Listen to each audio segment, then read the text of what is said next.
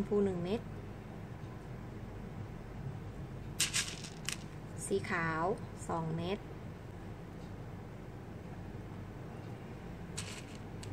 สีชมพูหนึ่งเม็ด ส่วนที่ชมพูเม็ดนี้นะคะ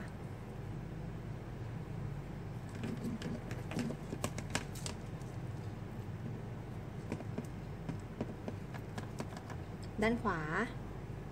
ร้อยไปหนึ่งเม็ดเม็ดนี้นะ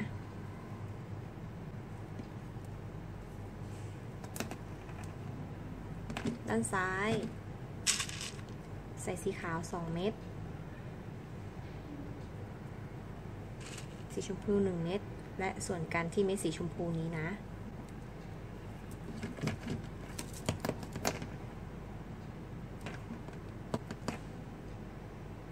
ด้านขวาร้อยไป 1 เม็ด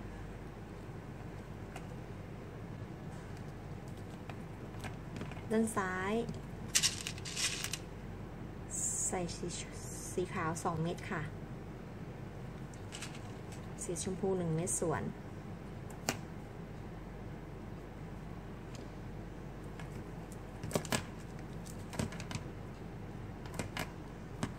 ด้านขวาร้อยไป 1 เม็ด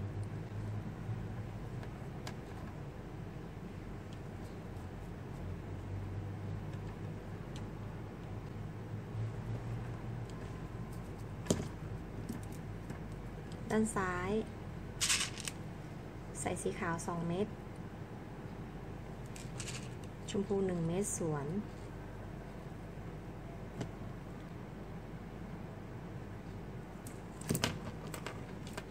ด้านขวา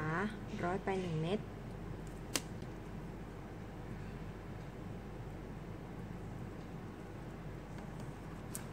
ด้านซ้าย ใส่สีขาว 2 เม็ด ชมพู1เม็ดส่วนค่ะ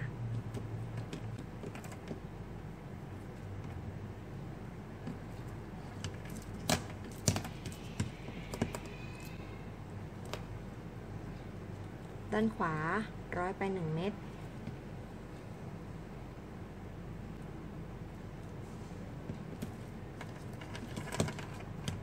ด้านซ้าย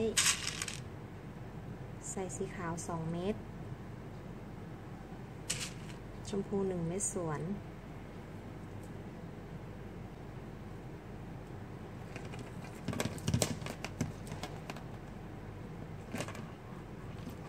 ด้านขวาร้อยไป1เม็ด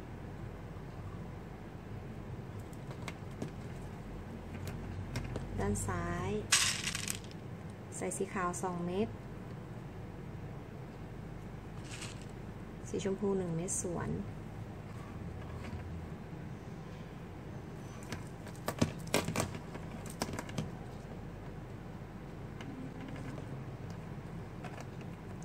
านขวาร้อยไป1เม็ดด้านซ้าย ใส่สีขาว2เม็ดชมพู1เม็ดสวนค่ะ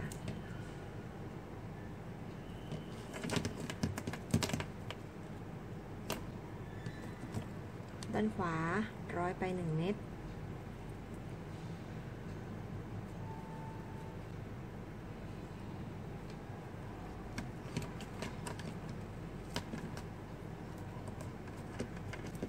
านซ้าย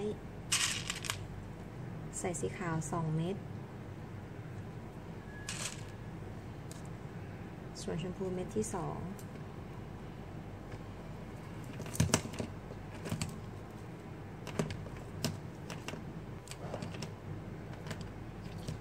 ด้านขวาร้อยไป 1 เม็ด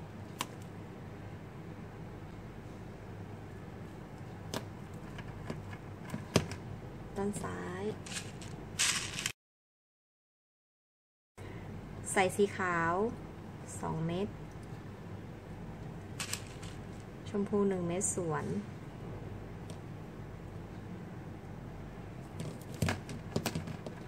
ด้านขวา ร้อยไป 1 เม็ด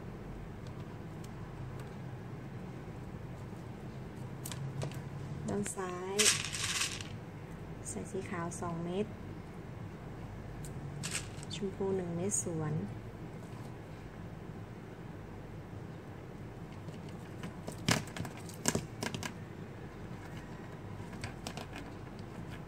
ด้านขวาร้อยไปหนึ่งเม็ด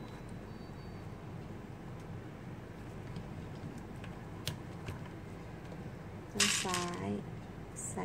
สีขาวสองเม็ด ชมพูหนึ่งเม็ดสวน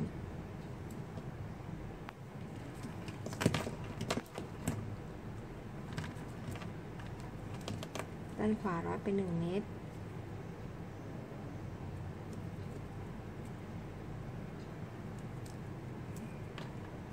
ด้านซ้าย ใส่สีขาวสองชมพูหนึ่งเม็ดสวน ด้านขวา ร้อยไปหนึ่งเม็ดเม็ดนี้นะ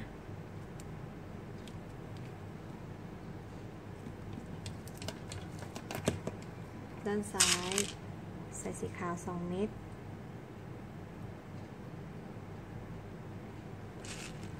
มพู1เม็ดสวน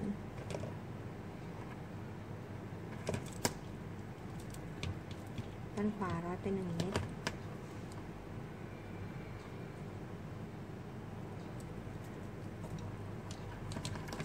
ด้านซ้าย ใส่สีขาว2เม็ดชมพูหนึ่งเม็ดสวน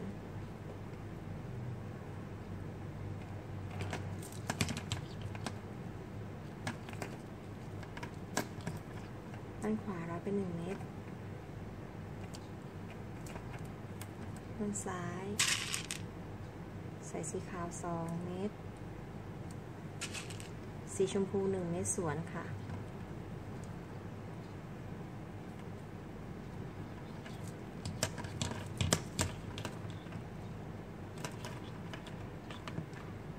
ด้านขวาร้อยไปหนึ่งเม็ด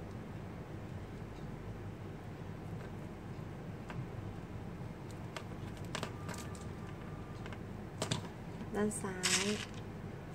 ใส่สีขาวสองเม็ด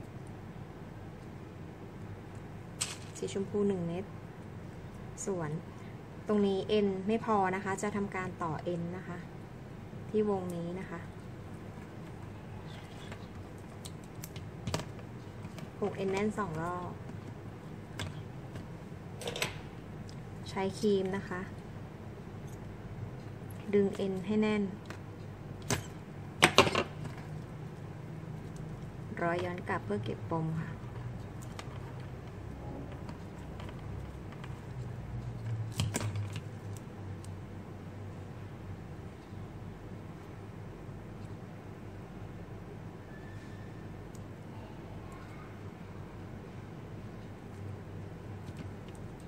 นี่นะคะ ตรงนี้จะมีปมอยู่นะคะ เราดึงปมซ่อนไปในเม็ดลูกปัดนะคะ นี่ค่ะ แล้ว ก็ร้อยต่อไปอีกสักเม็ดหนึ่งนะคะ เพื่อความแข็งแรงของชิ้นงาน นี่ค่ะ ตัวนี้ก็ใช้ก้ามปูนะคะ ตัดเอ็นที่เหลือทิ้ง ต่อไปเราก็จะต่อเอ็นนะคะ วิธีการต่อเอ็นนะ ก็เอาเอ็นเข้าไปในเม็ดลูกปัด เม็ดที่เราทำที่ส่วนกันเมื่อกี้เม็ดชมพูเม็ดนี้ค่ะ แล้วก็มาร้อยเม็ดนี้ ทางขวาจับปลายเอ็นให้เท่ากันนะคะแล้วดึง จะได้แบบนี้ ทางซ้าย ใส่สีขาว 2 เม็ดชมพู 1 เม็ดสวนค่ะ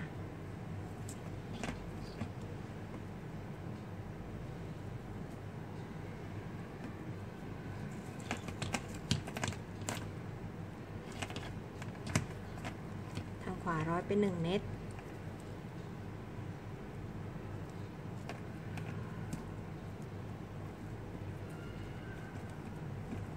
ทางซ้าย ใส่สีขาวสองเม็ดชมพูหนึ่งเม็ดสวนค่ะ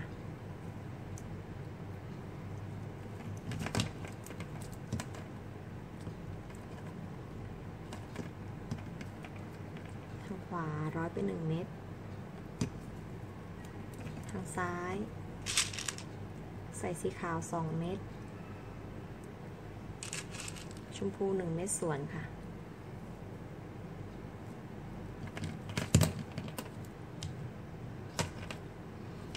เป็นทางขวาร้อยไปหนึ่งเม็ด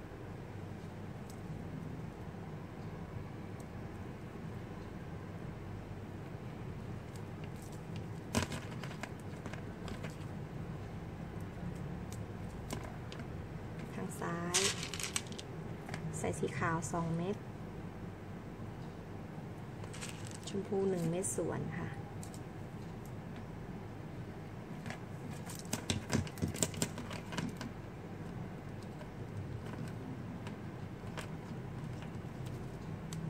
ทางขวาร้อยไป 1 เม็ด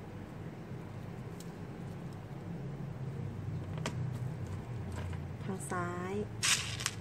ใส่สีขาว 2 เม็ด ชมพู1เม็ดสวนค่ะ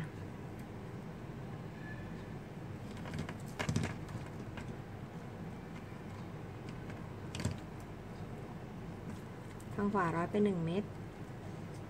นี่นะ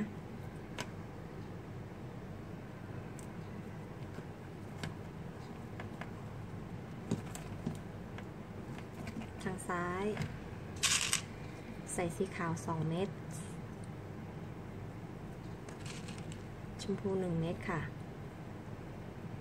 ส่วนผ่านกันที่เม็ดสีชมพูนี้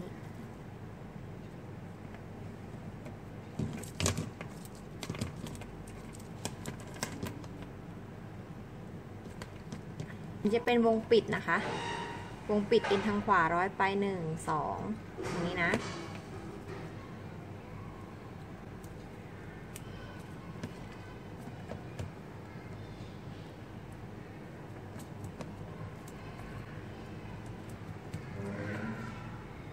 างซ้าย ใส่สีขาวนะคะ 1 เม็ด ใส่ทางขวา 1 เม็ด และนำปลายทั้งสองผูกกันให้แน่นสองรอบค่ะ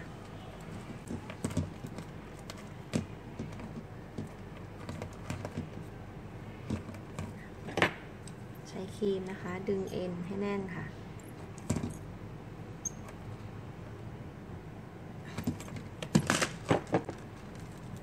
รอยย้อนกลับค่ะ เพื่อซ่อนปม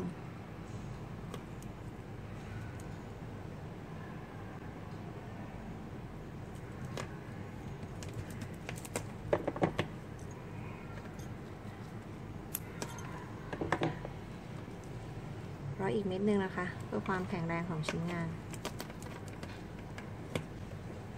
ใช้ก้ามปูค่ะ ตัดเอ็นที่เหลือทิ้งไป